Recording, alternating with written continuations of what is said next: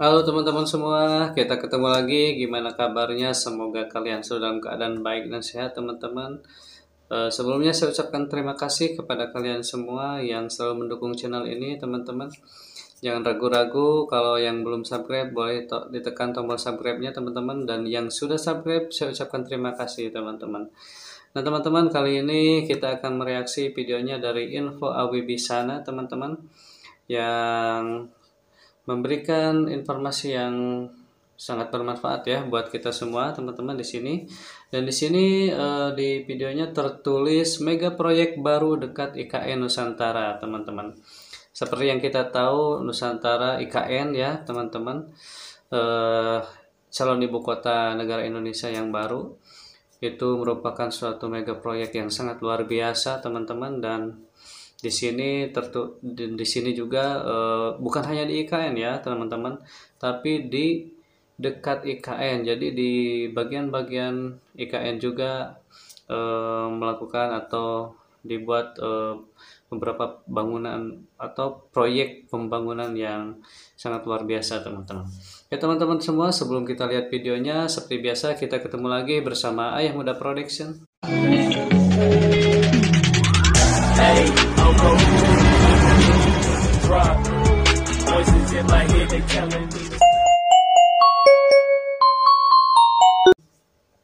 Oke teman-teman, kita langsung lihat aja videonya seperti apa informasi yang akan disampaikan oleh channelnya Info Awi Bisana ini teman-teman. Cus kita ke videonya. Jika kalian berpikir 10 hingga 15 tahun ke depan ekonomi Indonesia masih bertumpu di Pulau Jawa, ya silahkan. Namun, semuanya itu akan berakhir karena terdapat banyak faktor yang dapat mengubah dinamika tersebut. Salah satunya adalah upaya pemerintah untuk mempercepat pembangunan di luar Pulau Jawa melalui berbagai proyek infrastruktur. Misalnya saja, seperti Pelabuhan Makassar atau yang dikenal dengan Makassar Newport. Ait, kenapa pelabuhan? Memangnya, sebesar apa dampak pelabuhan pada ekonomi Indonesia, khususnya di luar Pulau Jawa? Sebelum menilai, ada baiknya kita melihat lebih dekat pelabuhan ini. Makassar Newport merupakan salah satu pelabuhan terbesar Indonesia Timur dan sekaligus merupakan calon pelabuhan terbesar di Indonesia. Ya, kalian tidak salah dengar.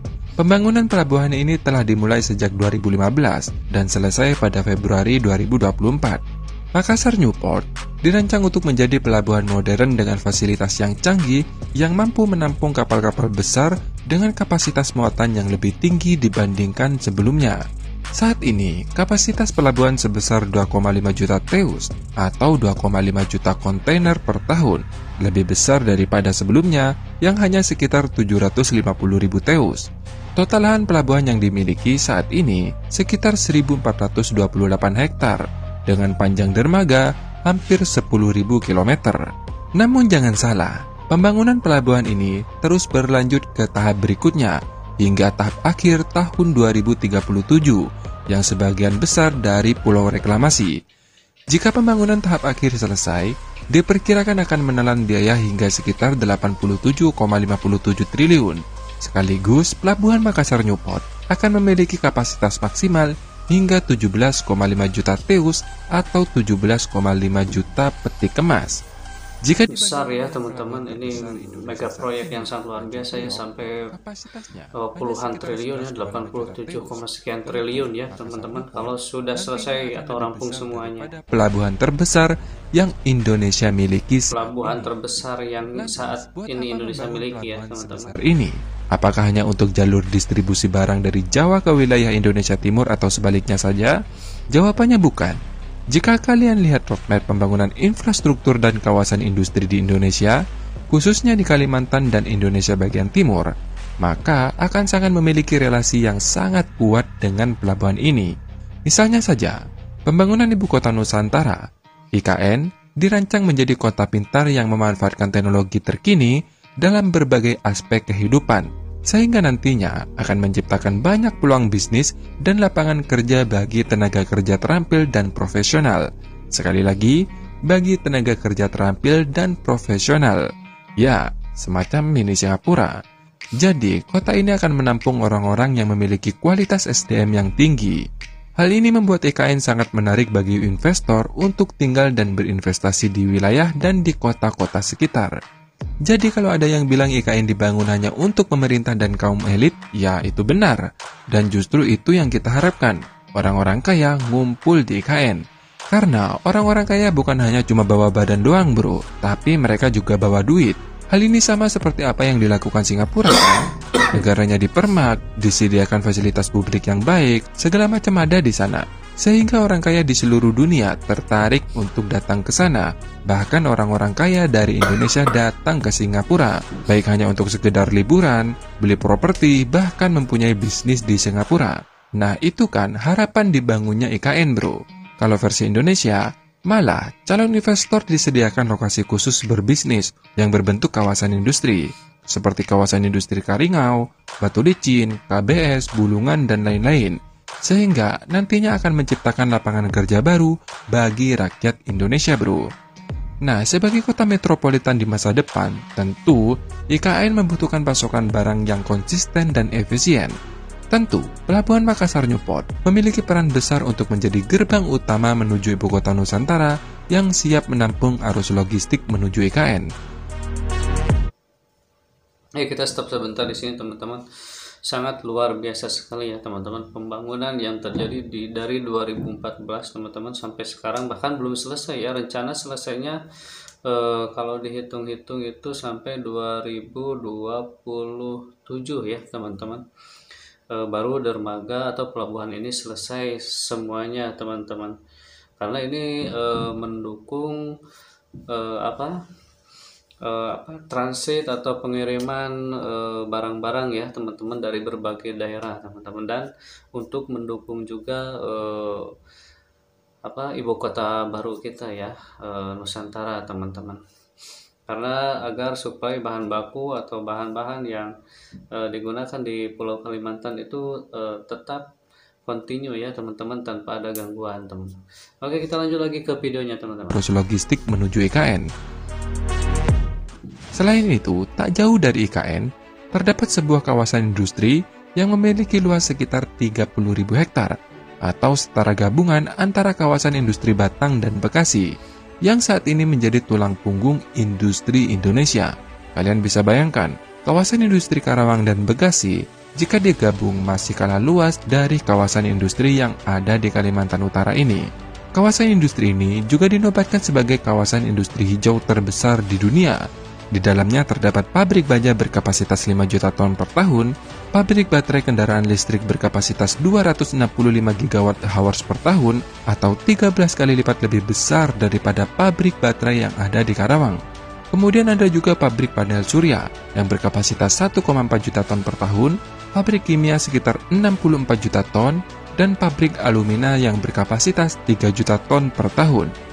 Melihat kapasitas produksi kawasan industri yang terletak di Kaltara ini, pasti nantinya akan ada jutaan kontainer yang didistribusikan ke seluruh wilayah Indonesia bahkan diekspor. Sedangkan di Pulau Sulawesi sendiri, terdapat sebuah kawasan industri terintegrasi mengolah mineral tambang dari hulu hingga hilir. Sekali lagi, dari hulu hingga hilir. Saat ini saja, di dalam kawasan itu terdapat sekitar 54 perusahaan yang aktif berproduksi selama 24 jam dengan jumlah total karyawan sebanyak 80.000 orang. Produk yang dihasilkan dari kawasan industri ini yakni berasal dari nikel dan turunannya. Untuk kapasitas produksinya, jangan diragukan lagi deh. Kawasan industri ini mampu mengolah hingga 25 juta metrik ton nikel ore yang menghasilkan 3 juta ton stainless, 3,5 juta metrik ton carbon steel, 300 ribu nikel pig iron, 72.000 nikel matte, 1,1 juta ton ferronikel, 781.000 ton NPI, dan lain-lain. Jadi sekali lagi, kita saat ini tak lagi ekspor tanah doang bro. Sekarang kita sudah ekspor produk setengah jadi, bahkan produk jadi. Selain itu, tak jauh dari kawasan tersebut, direncanakan juga akan dibangun sebuah pabrik baterai EV atau baterai kendaraan mobil listrik yang terletak di kawasan industri hijau Bantaeng, Sulawesi Selatan Mengenai dari negara mana investornya, masih simpang siur bro. Namun info yang admin dapat, ada beberapa negara, yakni Korea Selatan, Inggris, Swiss, Belgia, dan Cina.